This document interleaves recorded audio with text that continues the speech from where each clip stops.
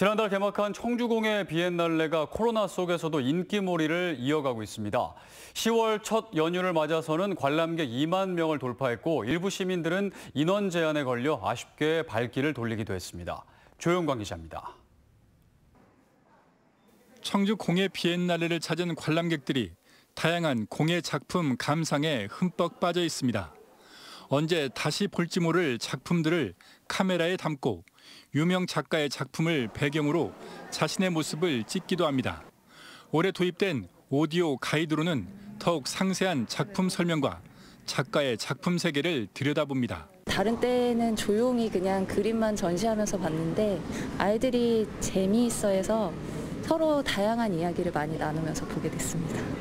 본 전시장 3층에 마련된 업사이클링 체험장에서는 관람객들이 작가의 도움으로 직접 작품 제작에 도전합니다. 버려진 어구나 신용카드 같은 쓰레기들이 조명등과 브릿지, 손가방 등으로 다시 태어납니다. 그냥 폐기를 하는 것이 아니라 이거를 다시 새로운 가치를 창출하자 이런 느낌으로 지난달 8일 개막한 청주 공예 비엔날레가 2만 번째 관람객을 맞는 등 코로나 속에서도 인기몰이를 하고 있습니다.